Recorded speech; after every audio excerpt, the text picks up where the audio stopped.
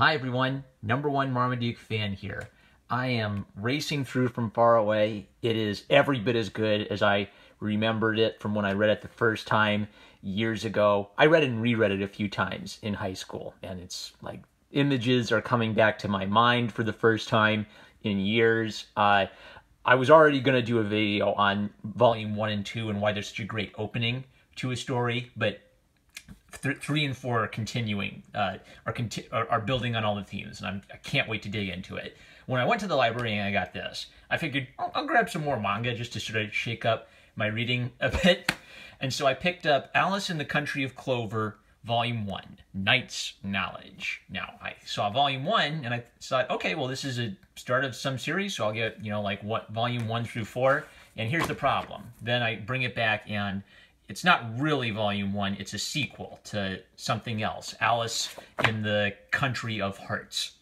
So my first annoyance is this should not say volume one. This should say volume 10 or whatever comes after the last volume of Alice in the Country of Hearts. And ooh, I, I don't like it. Now, I want to be gracious to this as I critique it. I think the tone and the intent of this is to be to have a silly sense of humor. I'm supposed to be laughing while I read it, but the total effect is I, I, I fought myself to get through the first half of the first chapter, and they said, okay, I don't like it, but something interesting is happening, so I'm going to give this a shot.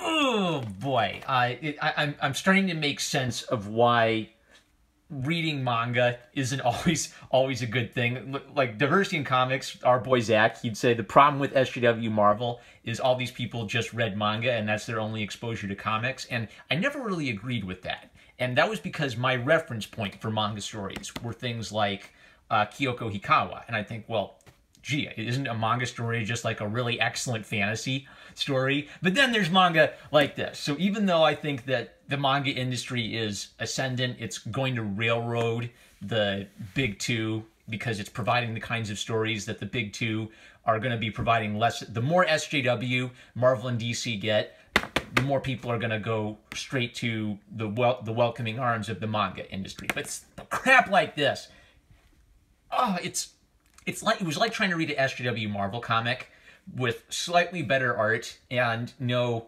overt political overtones. So one of the dumbest manga I've read all year. This and like Final Fantasy Fate Zero or something. But even then, there's still like a little bit better than the the SJW Marvel comics that uh, you have to pay five ju just for the low low price of four ninety nine. You can read an SJW comic, or you can get Alice in the Country of Clover and get a similar experience for free. So, what is my problem with Alice in the Country of Clover? Well, what was actually kind of interesting about it is looking at it right after reading from far away.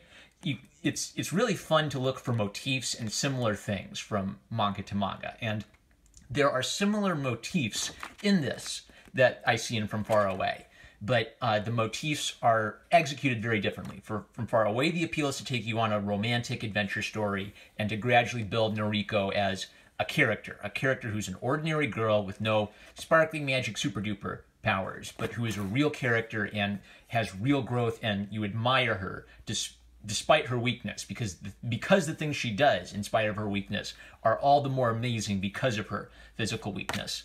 Alice in the Country of Clover, well, if if uh, magical powers, if those are sparkly, darkly, super duper powers, then I would describe this as bubbly, wubbly romance magic stuff. And, but these are all technical terms. When I write my history of manga, you know, there'll be an index for all of these. But bubbly, wubbly, misty magic romance stuff. Well, that's when uh, the girl looks into pretty boy face in the eyes and the bubbles start appealing and she blushes and the ba-thump, ba-thump, ba-thump of her heart. And From Far Away has stuff like that, that too, where they kind of like look at each other and the like the bubble magic stuff starts appearing around them. But in the context of From Far Away, the romantic moments come because they're two people who have excellent chemistry. He's actually not really interested in her romantically at all. And she's not at the at first she's not really interested in him romantically either. She's interested in him because he saves her life and she's dependent on him at first. And this blossoms into a friendship where she's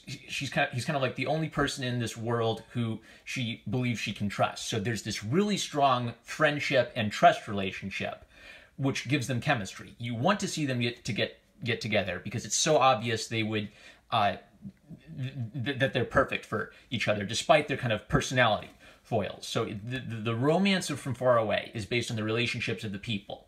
The romance in Alice in the Country of Clover is tee hee hee bubbles. Oh, lovely.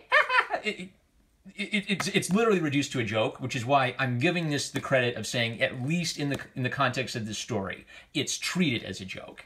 The the joke is that after Alice is kidnapped by the rabbit and brought into not Wonderland, she's cursed to have every every single person fall in love with her, including the women. And that means that they'll do like little cheesy, oh, Alice, you, uh, and then the bubbly magic starts pop- popping up. So romance is a joke. Everyone, it, it, it'd really be horrible. What if, if every single person you interacted with uh, was madly in love with you? It'd be terrible. So it opens with, you know, like she's a maid because.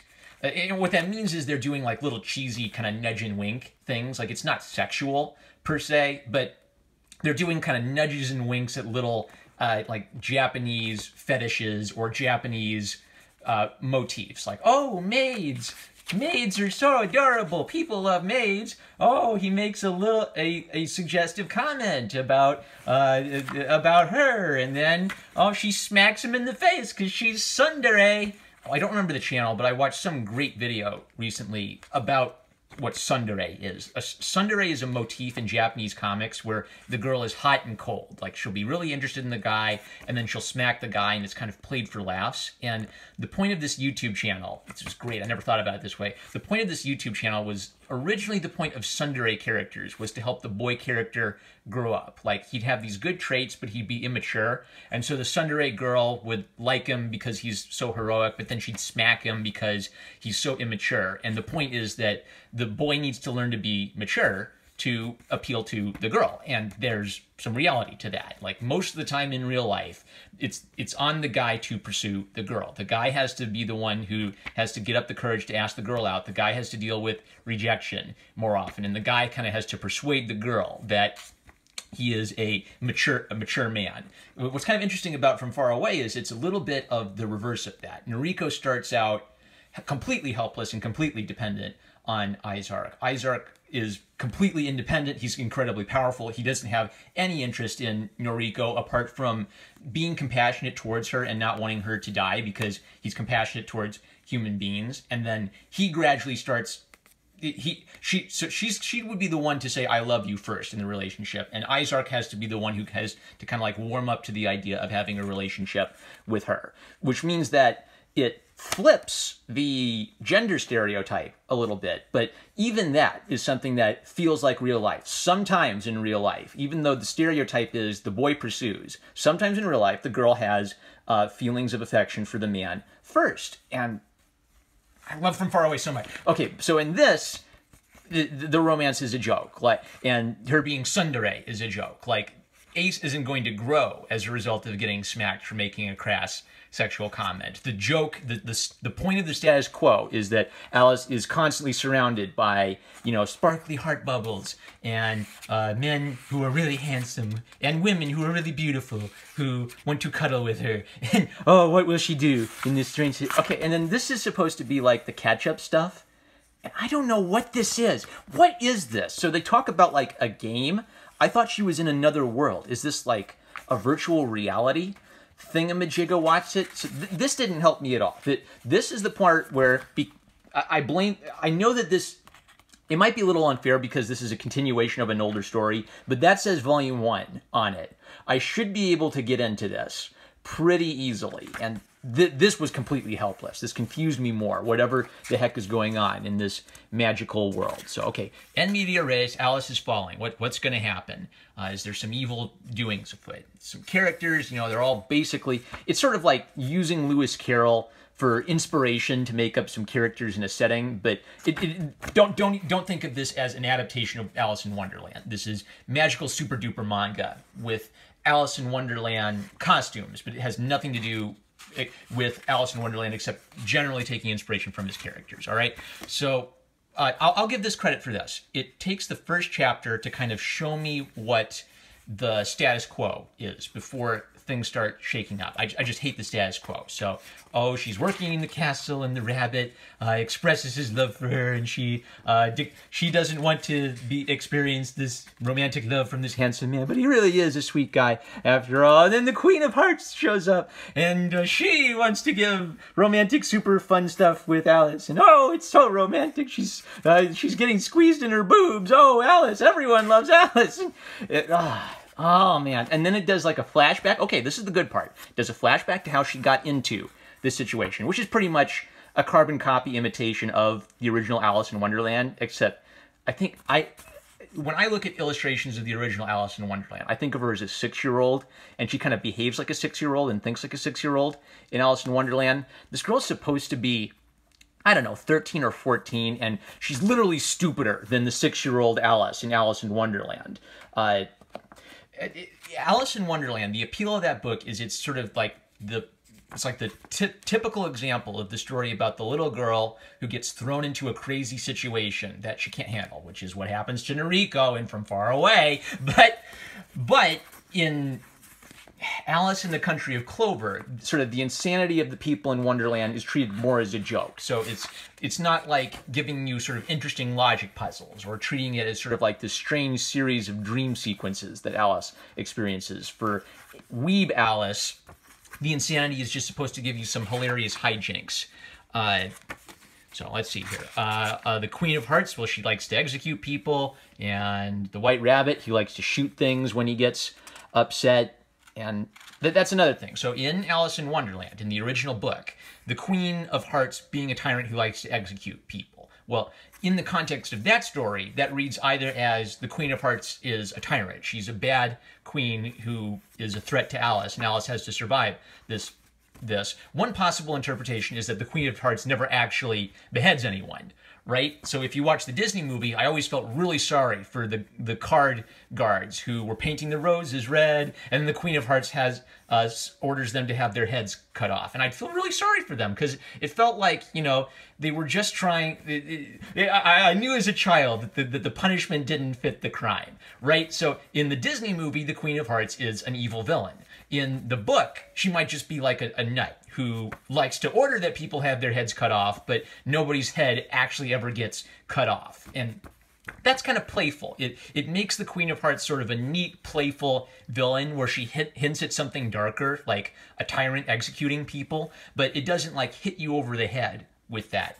In the context of this is a bit weird because I think I'm supposed to be taking this a little more seriously than the original Alice in Wonderland where it's just a dream. Uh, in this, it feels like this Alice is in a real world. She's trying to accustom herself to a life in this real, real world.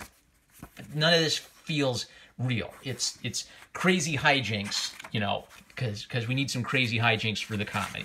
All right, so there was one neat neato thing.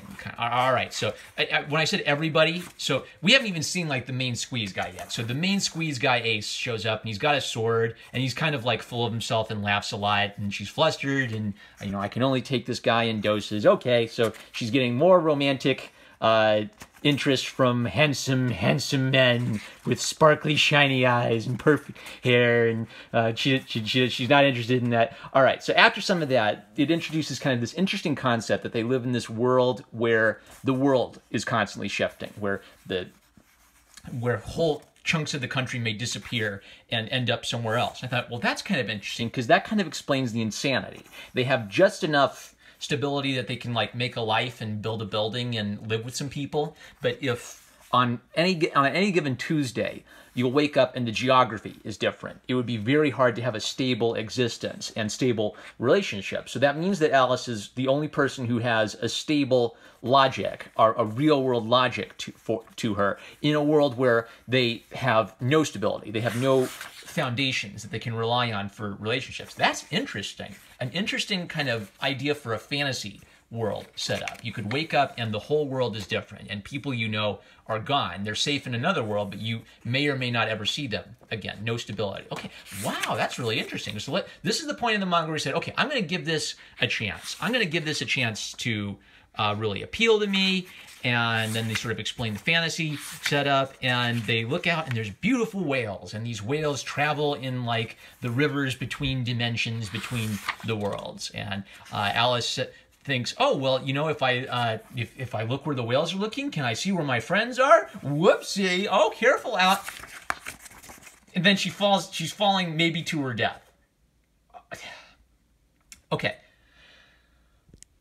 Oh, she just like got excited. She leaned over a railing, and she's she's supposed to be like 13 or 14 years old. If she was six years old, maybe I'd kind of understand making a stupid mistake like that, but it would still be like, you stupid six year old, don't do that again. Like at this point, let let her fall. There's no hope. If you if this doesn't kill you, it's just a matter of when. It's not a matter of if you're gonna kill yourself, Alice. And as she wonders it, I, I expected like some guy to like romantically jump out from of nowhere and catch her and get more sparkle magic. But no, the magical butterflies pick her up and set her down. Which means that this had absolutely no significance even to like giving me a little cheesy romance moment. You fall over, magical butterflies pick her up and set her down. You could take that whole stupid sequence out and this comic would be the same dang thing. All right, motifs. The motif is she's sort of an ordinary girl in this fantastical situation. And so she kind of cleans up to make herself feel useful and she's kind of clumsy. From Far Away is about an ordinary girl who finds herself in a difficult situation she can't really cope with. And one of her ways of coping with her situation is to make herself useful and help others around her in small ways. So the motifs of these two worlds are almost identical. But Noriko's works because uh, it doesn't treat romance as you know a sparkly warkly happy dappy sappy thing. It treats the romance between her and Izark as a relationship between two human beings with their own flaws and strengths. And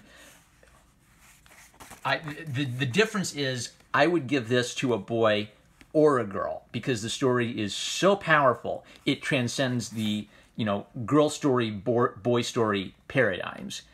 Uh, Alice in the Country of Clover treats romance as a joke, which could work if it's like a spice in the stew. You sort of have like comedic bits about people showing affection to Alice, but the the, the consequence is that uh, it's so grating that not only do I not want to read this story, I don't want to go back and read the stories that led up to this story. And it it anyway, I think it's the difference between using motifs and just sort of like stuffing them into something versus maybe recognizing the value of motifs, but actually telling a story with those motifs and not just having like motif or silly scene after silly scene after silly scene after silly scene. Then once you have like that core connection with the characters, everything else becomes less annoying. When they do like a silly joke in From Far Away, it's not annoying because uh, you read that not as, oh gosh, this is so silly. You read that as, you know, poor Noriko, she said something embarrassing and she, does, she doesn't know what she, she said, right? So it's all about balance and it's all about having your core fundamentals down. I, I wouldn't give this to anyone. Uh, I, I don't, it's rated for older teens, so I also don't think like the spiciness of the sexual humor is age appropriate, even though it's like not, you know, putting big boobs in, boob, big boobs in your face. This is kind of like a teasing sexual romance, whereas this is a much more chaste idea of human beings loving each other and what love might mean even beyond sexual love or uh, erotic love. It's love of another human being being the driving force of the story, blossoming into a romantic love between a, a girl and a boy. So, uh, I, I, I, under, I, I understand fem, feminism now, and I understand like SJW Marvel a little bit better now because this kind of story doesn't give you enough context to understand what a girl with agency looks like. Eh, but this one does. So it's a learning experience. Not all manga is magically super sparkle better than Western comics just because. So, uh, have you read more of this Alice in the in the Country of Hearts and Alice in the Country of Clover? I when I was at the library, there were like six spin-offs of this, so it's apparently a pretty big thing. Uh, if you think I'm being unfair to it, let chat with me in the comments. Like, is there a better jumping on point for me than this? And do you think I have been unfair in my criticisms of Alice in the Country of Clover? I gave up. I know it's kind of unfair to judge something by one chapter, But first chapters are important and kind of the interesting little spin of the magical world. That's not enough to have me put up with, you know, 20 volumes of magical bubbles romancy stuff. Get you some from far away. Highest recommendation. Be gone! I love you guys, and I love my patrons on Patreon, and I will catch y'all later.